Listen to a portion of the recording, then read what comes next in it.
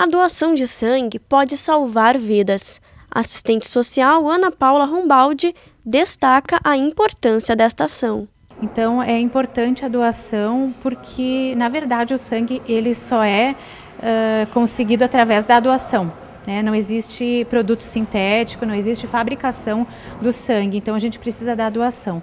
Para doar, é preciso estar bem de saúde, ter pelo menos 16 anos, mais de 50 quilos, não fumar duas horas antes de doar, não tomar bebidas alcoólicas 12 horas antes e estar bem alimentado.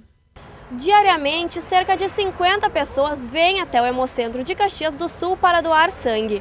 No sábado, esse número aumenta e costuma chegar a 100 doadores.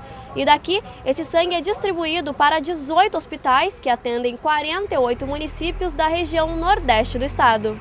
E as doações têm sido suficientes para a demanda da região. A gente trabalha com essa, com essa meta, né? Na verdade, o Hemocentro também tem as coletas externas que são feitas com uma unidade móvel. Então, nós temos a parceria com, com esses municípios da região. A unidade se desloca até o município e faz a coleta lá também. Débora possui o tipo sanguíneo O negativo e está doando pela segunda vez. Para mim é importante porque a gente pode ajudar mais pessoas, né? Sem saber para quem às vezes e tu tá ajudando, né? Após o recolhimento do sangue, o doador deve se hidratar bebendo bastante líquido.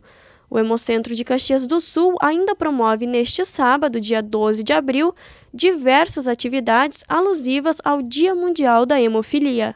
Que é, é um dia voltado para se chamar atenção para esse tema, né, da importância do, do hemofílico, né, do portador de coagulopatia, uh, conhecer os tratamentos que existem disponíveis e a família também uh, entender todo o processo de tratamento do seu familiar.